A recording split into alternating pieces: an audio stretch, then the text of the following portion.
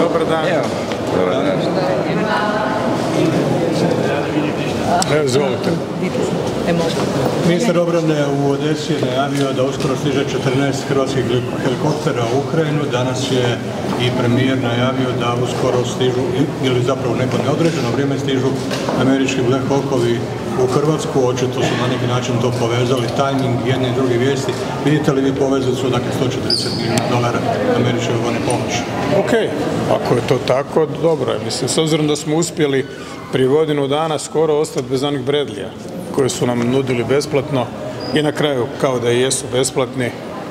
Vidimo da su i tekako korisni u Ukrajini. E, a ovo drugo znamo, dakle, ta donacija u Ukrajini je odlučena na vladi, to ide odmah, ti helikopteri i tak nisu perspektivni, dakle, mi ih ne bismo imali uvjeta niti računice više održavati jer imamo dosta tih helikoptera i tog se treba polako rješavati.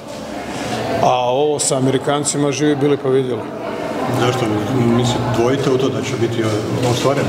Kad je novac u pitanju, kad HDZ govori, ne da dvojim, nego se hvatam za kondak.